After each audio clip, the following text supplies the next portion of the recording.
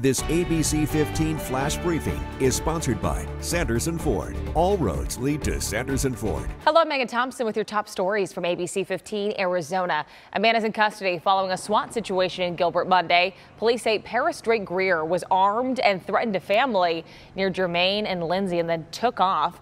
People in the home got out safely when police arrived. Greer was wanted in Minnesota on robbery charges.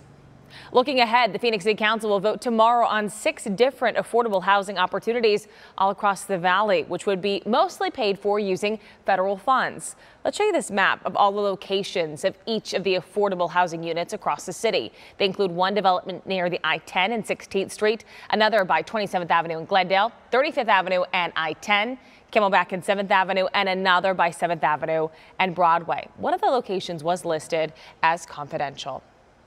This week, ABC 15 is teaming up with our news partners at KTAR for an in-depth special on homelessness in the Valley. You can watch the Without a Home roundtable discussion hosted by our own Javier Soto and KTAR's Jamie West Wednesday and Thursday from 12:15 to 2 p.m. on abc15.com/roundtable. A warning to check your freezers. Frozen strawberries are being recalled due to a potential hepatitis A contamination. The Wawona Frozen Foods Daybreak Blend was sold at Costco stores in Arizona from April to June of last year. If you have a bag in your freezer, you can bring it to the store you got it from for a refund. No illnesses have been reported due to this recall. $28.5 million is coming to Arizona to help connect people in rural areas of our state to affordable, high-speed internet. Some of that money will be going to the Colorado River Indian tribes in La Paz County. The funds are thanks to President Biden's infrastructure law. Hi everybody, my name is Chris Rude with Sunflower Bank and we're here today to help support St. Vincent de Paul and their annual water drive. This is really important uh, to help all those in our community during one of the most challenging times of the year.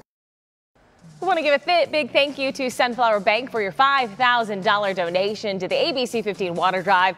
And you can help too. Today we're holding a phone bank from 11 a.m. to 1 p.m. and also 4 p.m. to 7 p.m.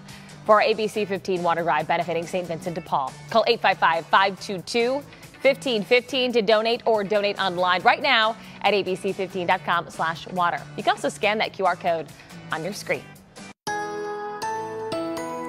It's Tuesday, and I'm meteorologist Iris Hermosillo. As we talk about your most accurate forecast, we are warming up after a high of just 93 yesterday, more than 10 degrees below the average high for this time of year. Things are going to start to heat up, but we'll still end up in the double digits with Phoenix topping out at 97 today. Just shy of 100 out to our west, too. Lake Havasu up to 99. We'll warm into the mid 80s in Sedona and in Kingman with highs in the 70s today for spots like Flagstaff, Heber, Show Low, and Window Rock. We're back under air quality alerts as those winds remain light. It looks like ozone pollution will build and it could reach unhealthy levels by this afternoon. So we're officially under an air quality alert or an ozone high pollution advisory today. That could again be extended into tomorrow. Right now it's a high pollution watch for Wednesday, but I do think breezes will start to pick up a little bit on Wednesday and then they increase in speed through the rest of the week. That'll improve air quality. A slight chance for showers in northern Arizona by Saturday. Otherwise looking dry in the valley and getting hotter through the weekend. For the latest headlines, weather, and traffic, head to abc15.com or go ahead and download that free ABC 15 mobile app. This ABC 15 flash briefing is sponsored by Sanderson Ford. All roads lead to Sanderson Ford.